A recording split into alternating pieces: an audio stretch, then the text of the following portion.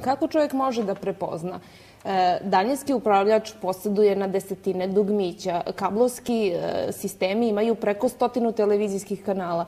Informativne emisije u posljednjih godina kao da su prekopirane sa svih kanala. Kako jedan običan gledalac danas u Srbiji može da napravi selekciju šta je prava informacija, a šta ne? Šta je deplasirano? U tom jeste osnovni problem ljudskog roda.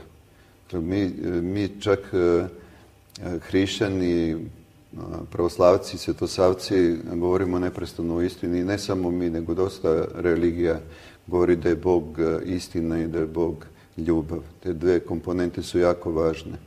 E, ljubav je vezana za srce, a e, istina je vezana za mozak. Jako je teško prepoznati istinu iz prostog razloga što kada bismo crtali te grafove u kome govorimo šta su polovi, recimo šta je to dobro i zlo, šta je lepota i ružnoća, šta, šta je ljubav i mržnja.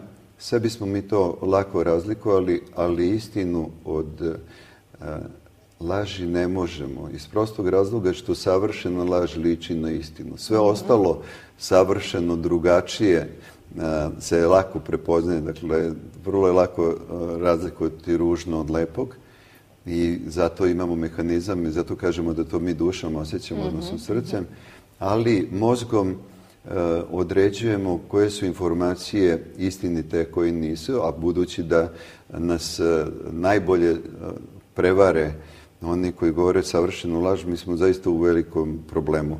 I ljudski rod e, ima problem baš sa istinom, nema problem sa ljubavlju, mhm. toliko, mada je i ljubav e, zasnovana na istini, jer da biste vi voleli nešto ili nekoga, morali bi bilo šta da znate, da budete informisani.